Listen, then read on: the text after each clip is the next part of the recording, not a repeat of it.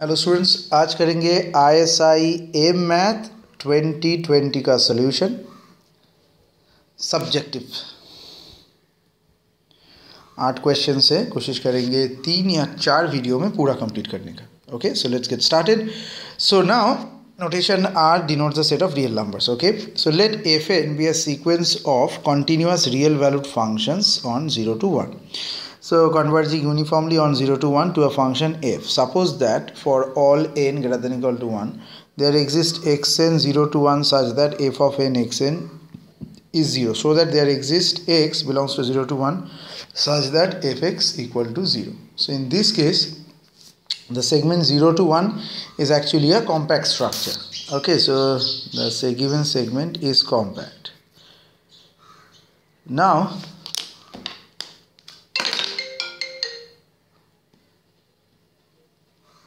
in this sorry. Part now if we just proceed.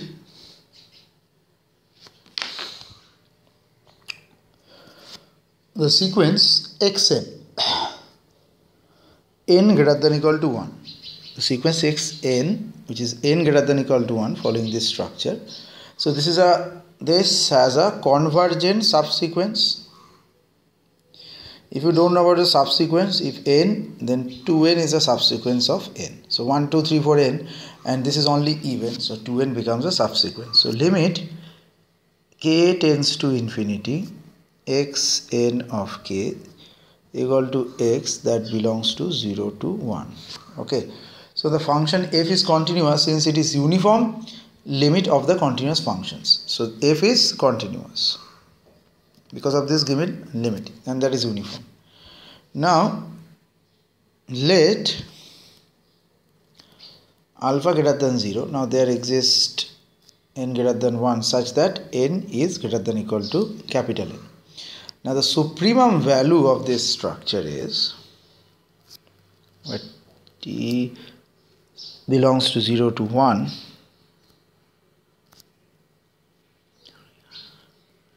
fn of t minus ft less than equal to um, maybe the given value which is alpha. So there exists k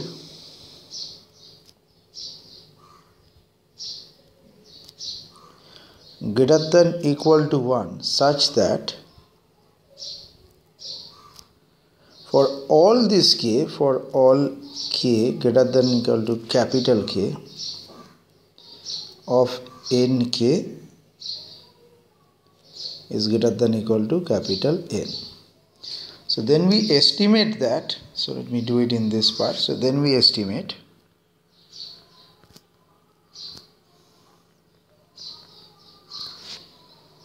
that f of x n of k mod less than equal to the difference so x n of k f n of k x n subscript k. Plus f n of k x n of k. This is less than equal to supremum of t belongs to 0 and 1 this is ft minus f n k t less than this value alpha. Okay hence we have shown that there exists 0 to 1 for that fx equal to 0 first part done. A. Next in the b part give an example of a sequence fn which is continuous in the real valued function 0 to infinity converging uniformly into 0 to infinity to a function f such that for each n greater than equal to 1 there exists xn satisfying that fn equal of xn equal to 0 but if satisfied fx that is cannot equal to 0 so for l x 0 to infinity so let in B part fn of x equal to e to the power minus x equal to 1 by n. I am taking 1. So f of x is e to the power minus x. So we have again supremum x greater than equal to 0 f of n of x f of x equal to 1 by n tends to 0 if n tends to infinity. So again f of n log of n equal to 0 so, but however fx greater than 0 is done for all values of x which is non-negative. So it follows that mod fx is equal to limit k tends to infinity f of x of n of k less than equal to t. So as t uh, sorry alpha as alpha greater than 0 is an arbitrary uh, constant over here. So we can deduce that fx has to be 0 so second part is done. Now we move to question number 2 so let 0 comma 1 belongs to r be a continuous function. We need to show this. Okay. So f is a function which is bounded 0 to 1 bounded from both sides so let c equal to supremum of ft less than infinity where t belongs to 0 comma 1 now let n greater than 2 by c. So for all the values t belongs to 0 comma 1 if t n less than half so we use the elementary inequality to do that. So log of 1 plus x minus x less than 2x square and mod x less than half less than equal to half. So this represents the product in this case. So product k equal to 1 to n. 1 plus 1 by n f of k by n this thing is equal to e to the power or exponential I'm writing uh, log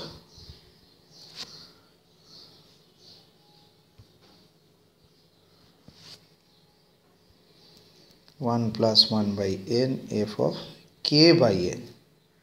Okay? So we have this estimate. So let's go for this. So modulus log of 1 plus 1 by n f of k by n. This thing minus summation of 1 by n f of k by n. This thing has to be less than or equal to summation of log of 1 plus 1 by n f of k by n minus 1 by n f of k by n. So the difference it has to be more than this difference and that is less than equal to the double of f of k by n square n square and that is less than equal to uh, 2 c square by n. Okay, hence we can write here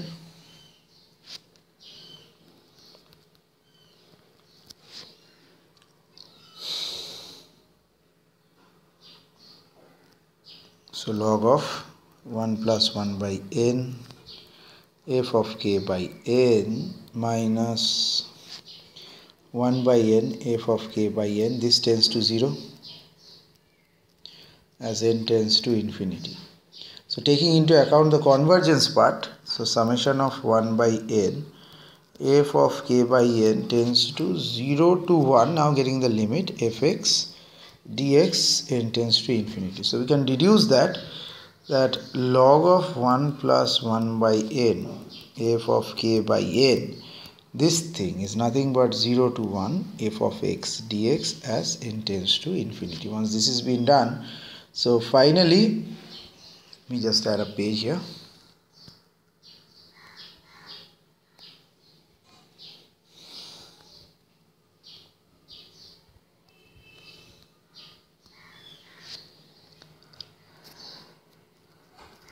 Product k equal to 1 1 plus 1 by n f of k by n equal to exponential of this summation. Log of 1 plus 1 by n f of k by n this part. So that is exponential of 0 to 1 f of x dx where n tends to infinity. Okay so hence it is been proved. That's it in the next question we will solve from question number 3